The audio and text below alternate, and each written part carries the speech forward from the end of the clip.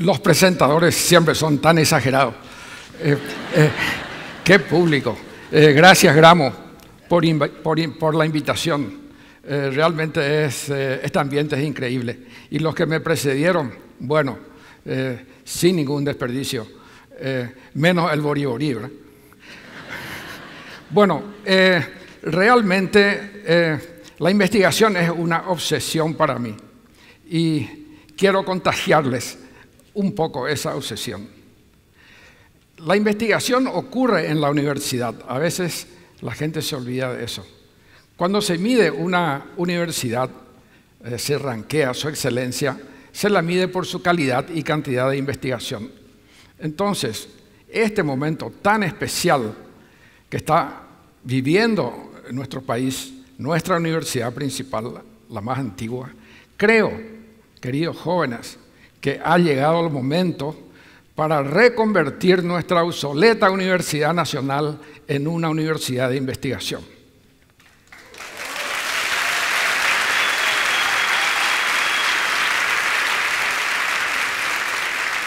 Pero ¿por qué la investigación?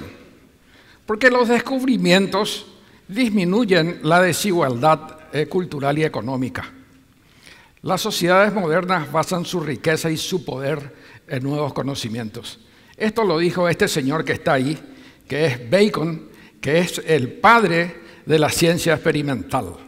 Así como Descartes fue el padre de la ciencia teórica, él, al otro lado del río, diseñó la medicina experimental. Ahora, siempre me preguntan eh, sobre la formación de los jóvenes. ¿Cómo se forman los investigadores? ¿Se hacen o nacen? Yo diría que se hacen. Todo estudiante es un científico potencial. Todo niño es un científico potencial. Es increíble cómo el niño maneja la lógica matemática que luego va a florecer en la ciencia. Pero se requieren de ciertas características como son los ambientes adecuados, académicos y no académicos, la familia muy importante, los compañeros pero hay algo que es crucial y ya lo dijo Roberto anteriormente y es el mentor. Este señor que está ahí con esa cara de escéptico es un francés que estudió en Inglaterra y que vive y escribe en Estados Unidos y es uno de los escritores más exquisitos. Y ha escrito un libro que les recomiendo, que se llama El arte de los maestros. Se llama George Steiner. El el tema del mentorajo es crucial en la formación de los científicos. Nada es más importante. No existen autodidactas científicos, o si los hay, serían aquellos muy geniales y muy pocos. El joven investigador es dependiente de su mentor y por muchos años está trabajando con él arduamente en las ideas de su mentor y por lo menos eh, en lo que respecta a mí, no sé si seré más estúpido que el resto, pero me llevó siete años desarrollar una idea original propia. Mientras tanto, trabajaba en las ideas de mis mentores. ¿Qué es lo que se debe investigar? ¿Hay un campo específico? ¿Hay una prioridad? No.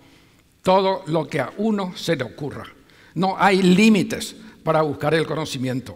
La libertad de investigación es un requisito y presupuesto de la ciencia. No me acabo de, no acabo de decir esto y de discutir interminablemente con los administradores y con los políticos. No al dirigismo estatal para la ciencia. El Estado no sabe qué es lo que se debe investigar. No a las prioridades para investigar. Tampoco la sociedad sabe. Pero ese científico va a buscar lo que es correcto investigar hay que respetarlo. ¿Cómo se investiga? Fíjense el gesto de este gran hombre, el, gran filósofo de la ciencia más importante en el siglo XX que fue Popper.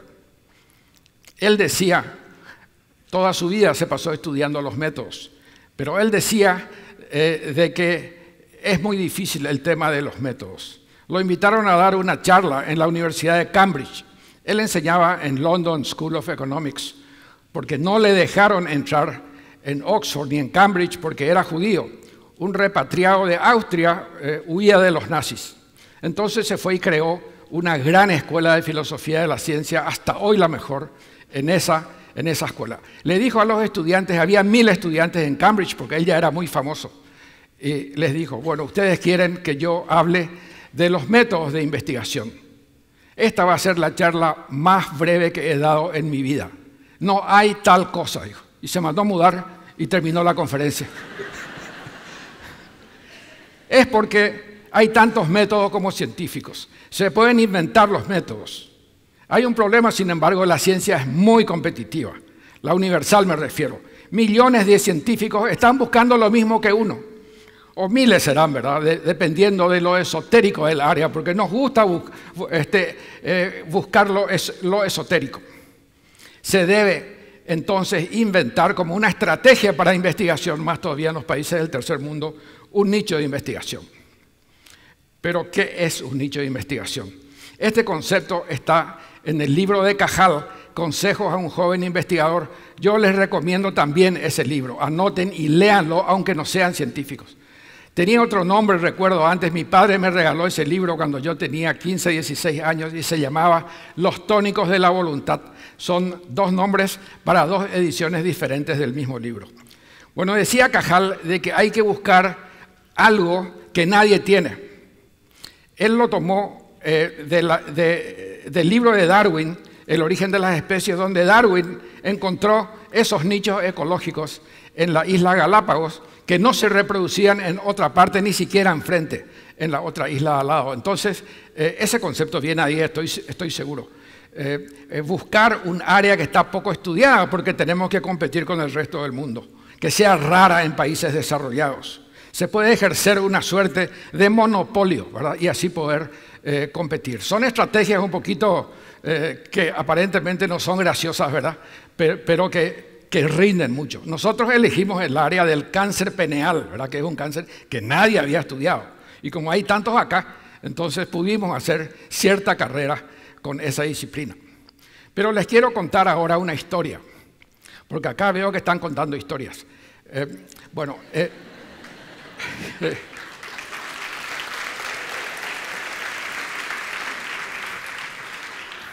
yo fui médico por equivocación.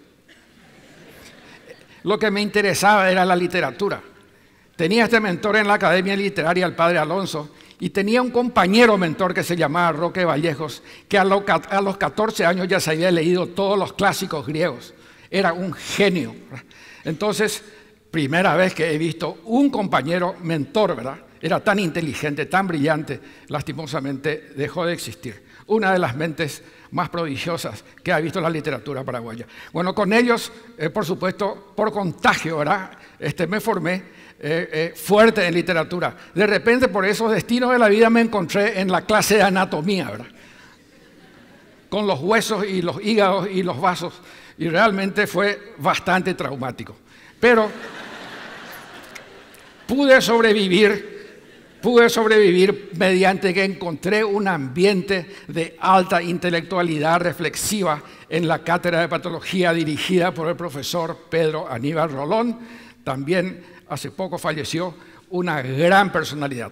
En su biblioteca estaban los libros de Bertrand Russell, de Wittgenstein, de Popper, de Whitehead, estaban, eh, de Claude Bernard, estaban los libros principales para formar a los investigadores. Y ahí yo viví ese ambiente, me contagió y empecé, este, digamos, a tratar de, ser un investigador. Salí afuera a los Estados Unidos, estuve ahí 10 años y ahí conocí lo que era la Universidad de Investigación. Bueno, cuando volví fue un shock cultural, imagínense ustedes después de estar en esos hospitales, en esos laboratorios, esos presupuestos de billón de dólares era el hospital donde yo trabajaba, su presupuesto en Paraguay creo que tenía la mitad en ese momento, este, eh, algo fuera de serie. Entonces volví y trabajé durante 20 años en la Universidad Nacional y empecé a identificar cuáles eran los problemas. Se está acabando el tiempo. Eh, y acá están.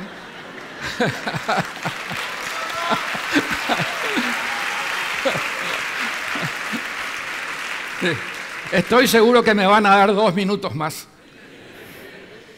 Bueno, el modelo equivocado, la exclusión de la investigación, la retórica abusada en la clase teórica que no sirve para nada hoy menos que nunca.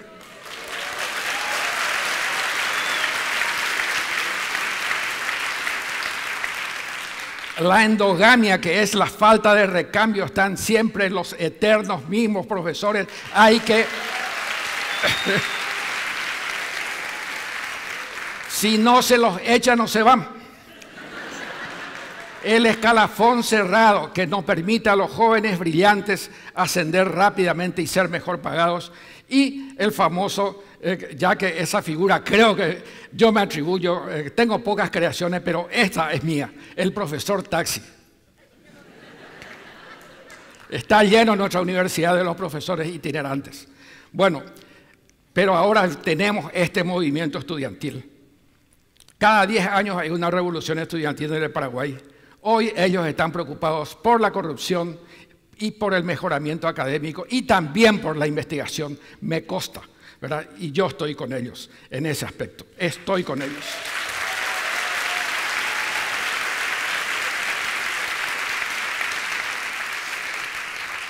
Encontré un, documento que lo habíamos escrito un grupo de docentes, no docentes y alumnos en rebeldía porque vinieron a esa misma oficina que ayer estuvo Roberto, ahí vinieron los estudiantes y redactamos un eh, manifiesto de cambios hace 10 años, en el 2005, y digamos, identificamos cuáles eran los problemas e hicimos un intento de modificación de los estatutos de la universidad. Y pusimos esto, Ocho puntos. Redefinir el mérito por la producción científica, escalafón docente abierto, dedicación de tiempo completo, autoridades serán investigadores de, de gran producción científica, fama internacional y ética. El gobierno de docentes y estudiantes paritario. Siempre estuve a favor de ese componente de la Revolución de Córdoba, el estudiante, digamos, para controlar y para avanzar este, la retrogradez de la mayoría de nuestros profesores.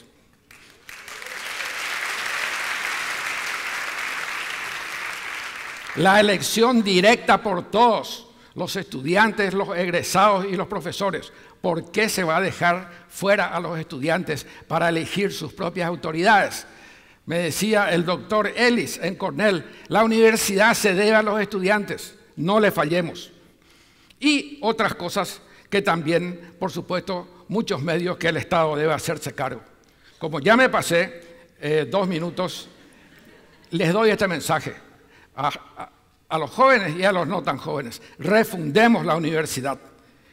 No perdamos esta oportunidad, valorizando la profesión y la investigación científica con una nueva visión para proyectar a nuestro país hacia una sociedad del conocimiento. Muchas gracias.